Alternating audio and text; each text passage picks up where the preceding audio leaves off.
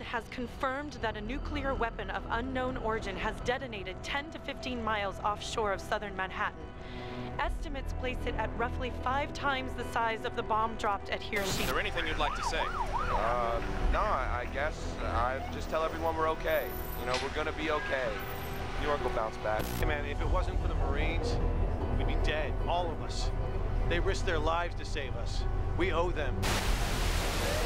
I have Sergeant Detweiler here with me. Sergeant, what can you tell us about the present state of the infection? Since last night, nothing. They don't seem driven in the same way. They're not a real threat anymore. Been 10 minutes since the vice president has been on the ground. Senator Ambrose is expected to make a statement.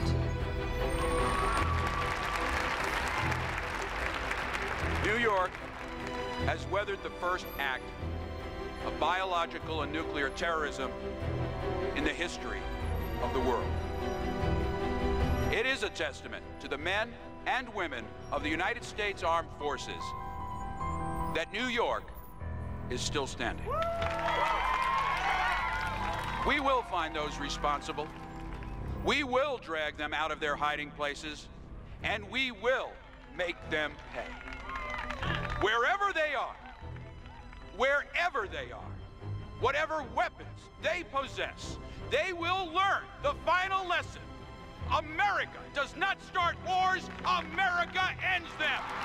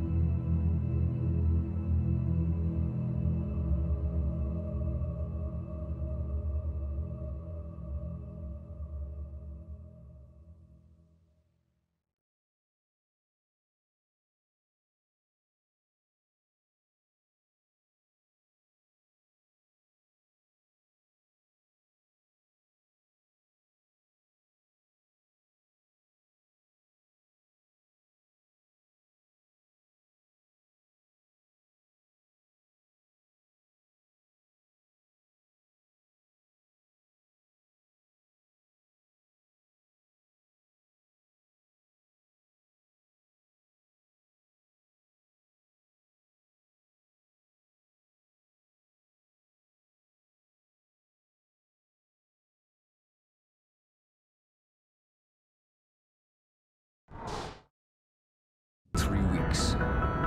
Millions dead. And I was there. My name was Alex Mercer. My work is almost done.